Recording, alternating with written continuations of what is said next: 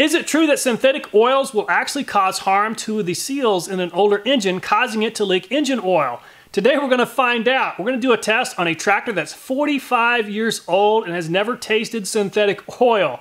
So let's put some synthetic oil in that tractor, put it to hard work, and then come back and see if the engine is leaking oil.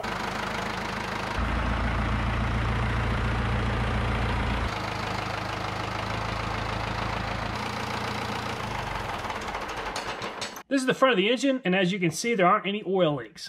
This is a look from the bottom side looking up. This is the back of the tractor where the engine mounts to the back half of the tractor. As you can see, there isn't any oil leaking. The nuts that hold the engine to the rest of the tractor are very clean. I don't believe this tractor's ever been split in half. I went and cleaned up this oil collection container. We'll be using some of the oil for some testing, so I'm going to collect some oil in this container about midway through the drain cycle.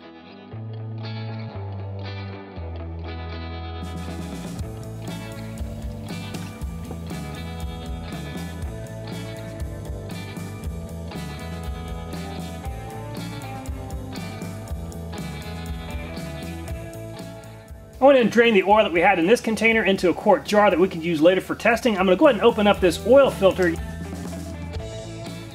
When I removed the filter, I crushed the filter just a little bit and it's got the filter media trapped inside, so I'm going to have to use a little bit of force to get it out. I'm going to go ahead and cut out the filter media and we'll put it in a press to squeeze all the oil out and then we'll take a closer look at it.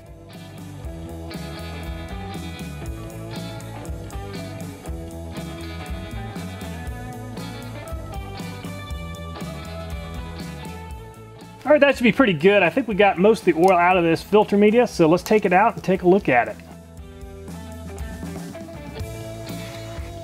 I'll be using a neodymium magnet inside this plastic bag. We're going to sweep it across the filter media and see if we can pull up any sort of metal. The filter media actually looks pretty clean. I don't see any metal on this magnet. Since the magnet's unable to collect non-ferrous metal and engines use a lot of non-ferrous metal in them, the only way to get a good idea as to whether or not there's a lot of wear taking place inside of an engine is to send the used oil in for an oil analysis to look for both ferrous and non-ferrous metal contamination. Shell Rotella T4 promises to provide triple protection. It's supposed to help control wear, deposits, and oil breakdown. This is SAE 15W40 motor oil that's designed for a diesel engine. So what exactly does triple protection mean? Triple protection includes significantly improved resistance to breakdown under high temperatures. We're going to test that. Enhanced shear stability performance. Proven aeration control to ensure optimal oil performance. It meets API classification CJ4 and SM. So Shell Rotella T6 is a synthetic that's designed for extreme temperature. It's SAE 5W40, which is slightly lower viscosity than the conventional oil we'll be testing. So T6 claims to provide better fuel economy performance, excellent extreme high and low temperature protection, and engineered to control turbocharger deposits. So the reason I'm comparing T4 against T6 is first off, a lot of people have asked me to compare the two. I've been using T4 instead of T6 in the wintertime, and on those really cold days, that oil light seems to stay on for about 8 to 10 seconds. So I believe T6 is going to flow much better, not just because of its viscosity rating, but also because it's a synthetic motor oil. I've already added four quarts of T6. I'm gonna go ahead and add Engine Restore. I've used it in the last two oil changes and I wanna continue using it just because it's really helped the compression on this old tractor.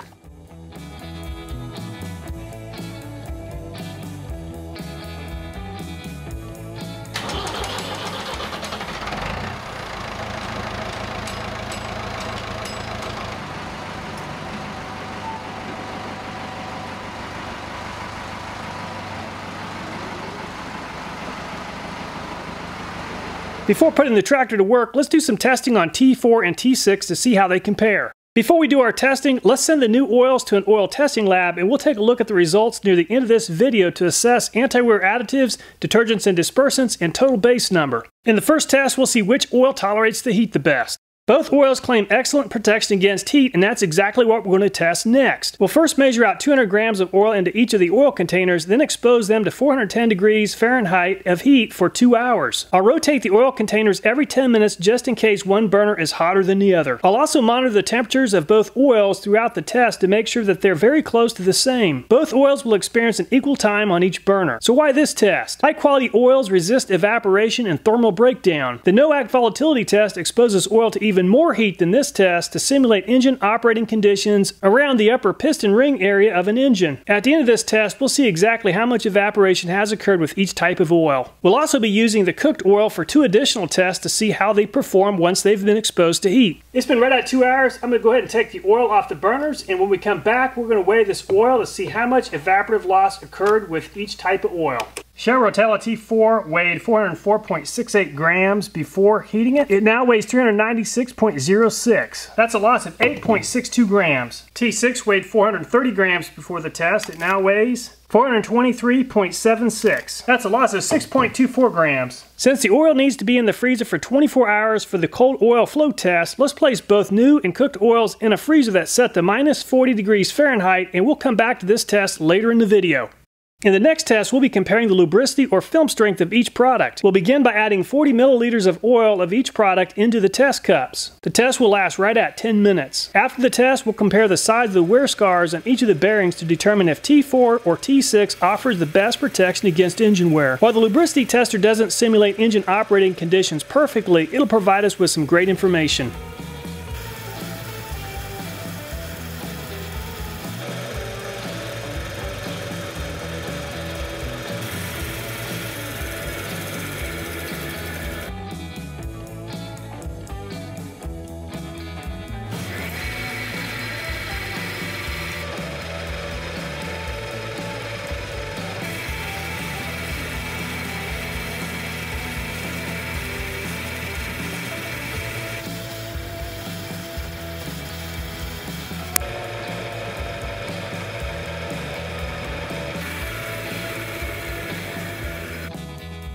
T4 on the left and T6 on the right, it's obvious that both oils have very good anti-wear properties. With that said, T6 definitely won this showdown, showing a little bit better film strength than T4. The oil has been inside the freezer at minus 40 degrees Fahrenheit for nearly 24 hours. New T4 is in lane 1, cooked T4 lane 2, cooked T6 lane 3, and new T6 lane 4. And the race is underway with T6 out of the gate very quickly and cooked T6 in a close second. New T4 is in third and cooked T4 is in a distant fourth. T4 has a lot of ground to make up and it's going to have to hurry up if it's going to catch up with T6. T6 is heading down the home stretch in a big hurry while T4 is still trying to get up to speed. This race isn't even close. It's new T6 for the win with Cook T6 2 inches behind and new T4 9.5 inches behind. T6 seems to have better anti-wear properties, handles the heat and cold better, but does it actually cause old seals to leak? Let's go log some hours on this 45 year old tractor and see if it's going to leak some oil.